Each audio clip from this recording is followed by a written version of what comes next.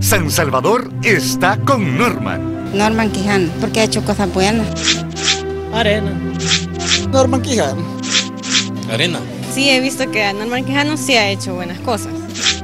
Por arena. Norman Quijano. Arena. Porque ha hecho muchas cosas buenas. Quijano. Norman Quijano.